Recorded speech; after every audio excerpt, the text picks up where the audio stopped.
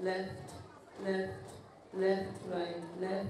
With her habit, her whistle, she's the sergeant of this morning drill. In many ways, the old fashioned parochial school principal who can strike terror in encounters like this. You did cheat, right?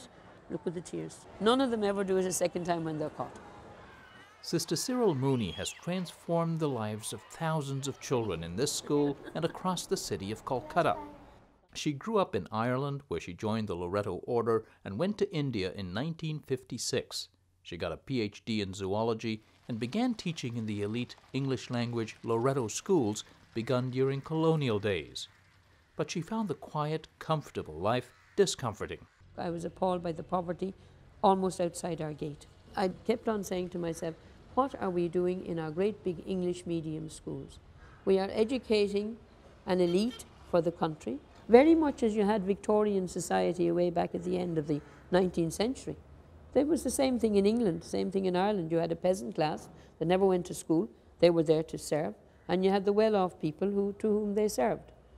So when she took over the school in 1979, she cut in half the number of traditional fee paying students, foregoing revenues for things one might find in elite schools, like a swimming pool.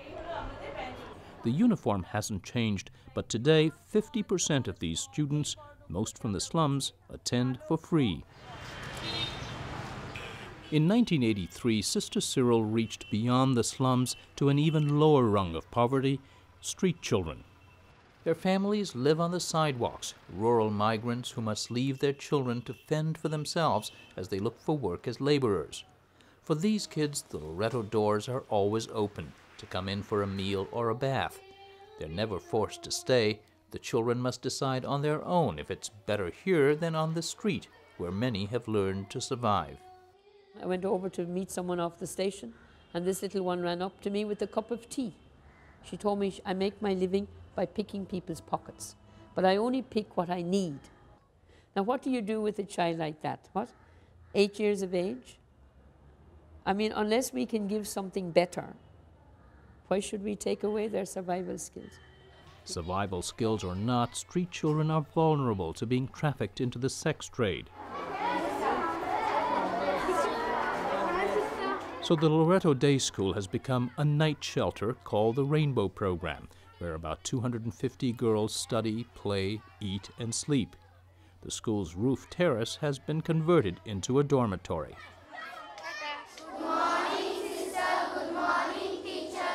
Next morning, the children of judges and doctors mingle with those of rag pickers, their lives intertwined on purpose. Every so called regular student is required to spend at least two hours a week tutoring a rainbow child. Not only have social barriers fallen, Sister Cyril says, but the students have become advocates for change. They volunteer to teach in rural areas, and they've tackled the pervasive use of domestic child labor in middle class homes. It's against the law to employ a child below the age of 18, but many of these children are passed off as relations up from the village, so nobody can catch the employers. But our children who live next door to them and are in the same social standing, parents and as the employers of these, they go and they fight with the employers and they get out these children to come and play and they identify them. Now they brought them in for a camp, a medical camp. On this day, several busloads of young domestics were brought in for routine health checkups. I see children here who look like they're not even 10 years old, sister. Oh yeah, this one. Kitni kitni sana? Sat. She's only seven years old. Seven years old and on call 24 7 to gather water, wash utensils, to wipe floors. A few lucky ones, like Saloni Khatun, are rescued early enough so they have fewer learning handicaps. Saloni is a third grader, brought here four years ago by a Loreto alumna who noticed she was being abused by her employers. One day I was wiping and they was not in the home. She took me here. She took you from the home. Yes, What were you wiping? The wall? floor. The floor. So you were wipe you were wi- wiping the floor and this this girl came and got you? Yes, she brought me here. What would you like to be when you grow up? I hostess. this Air hostess. What do they do? for helping others. Helping others, whether on an airplane or on the streets, is a common refrain. Teresa Shaw, an 11th grader, was brought here when she was three by her mother, who still lives under a sidewalk tarp. She plans to go to college, then work, and says she'll share her wages with Loreto and with her family. After my uh, studies, I'll find a job. Then I'll uh, earn something. And first earning, I, have, I want to give it to sister because this is the place where everything is for us. So then I'll see my look after my parents also, and I I'll see that I look after the rainbows also. Okay, you've got big ambitions. Yes. Our idea is to push them as far as they can go academically, and then if they can't go any further, divert them into one of the vocational trainings and give them a training whereby they can start to work. Now we have big numbers of them are already gone out. My hope is that every child who comes out will have a better future. And I think the next generation will have a very good future. You've Because- broken the cycle of poverty. Yeah, we've broken that cycle. But how to break the cycle of endless need in a city of 15 million and growing? Sister Cyril's approach can be found in classes that train so called barefoot teachers. Most are women with some formal education, nominated by their communities to come here for a six week course. They come from rural areas or Calcutta's burgeoning slums, where they return to teach. This community near Calcutta's Eastern Bypass Road is sandwiched between railroad tracks and a lake, now being filled to make way for a metro station. It's populated mostly by rural migrants, desperately seeking work in a city that long ago ran out of room.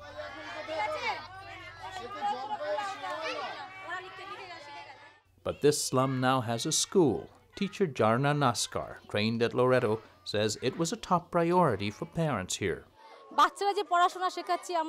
I've seen these children roaming around here. They were in such bad conditions, dirty conditions. Now they're here, learning some songs, some classroom exercises. Also, they're learning about health and hygiene.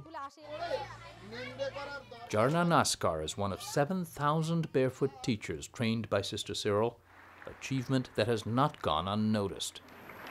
Sister M. Cyril Mooney.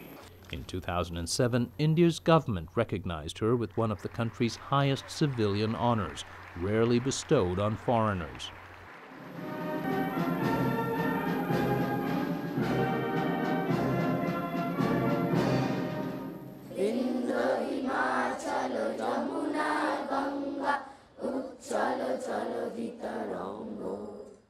I ask myself, what, what are you here for? Are you here to produce agents of human change among your children? Are you here to change the mental set of people? So even if you do it with a small number, it spreads. After all, Mahatma Gandhi was only one man. He managed to get the might of the British Empire out of India, which, which uh, is, is something quite fantastic. I mean, we can do it if all of us will work together.